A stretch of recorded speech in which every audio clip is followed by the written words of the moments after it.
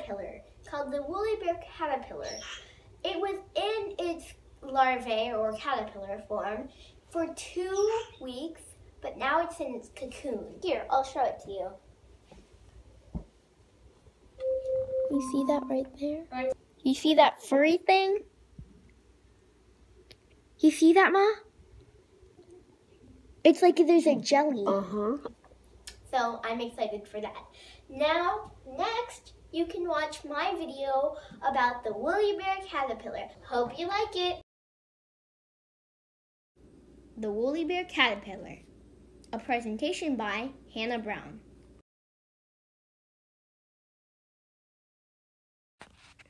What is a woolly bear caterpillar? The woolly bear caterpillar is a caterpillar. This caterpillar will eventually turn into the Isabella tiger moth. Like most caterpillars, it hatches out of an egg.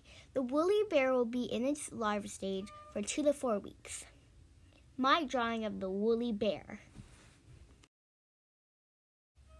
The life cycle of a woolly bear caterpillar egg to larva to cocoon to moth.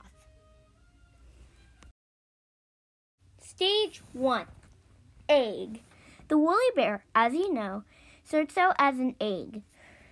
These eggs are in large groups all clumped together. The small caterpillars that hatch are not cute and adorable. They probably will give you the chills because they honestly look like little monsters.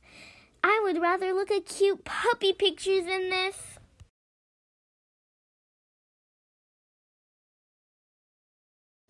Stage 2 Larva slash caterpillar.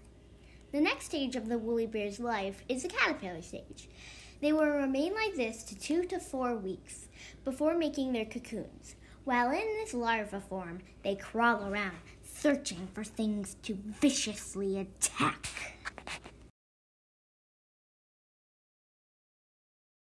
Stage 3 Cocoon.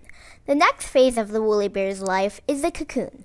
This is their most peaceful stage, so there isn't much to say about it. But it looks like a cat's hairball thingamajig. Stage 5 Moth. Last stage is its moth stage.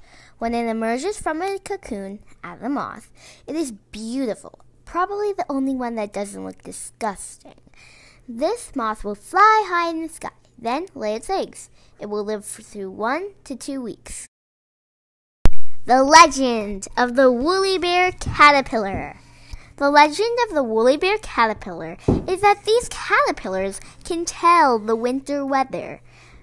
The more brown rings, or the more wider brown rings, means a mild winter is upon you. The more black rings means a more severe winter is coming. Some researched this and found out that it was indeed correct.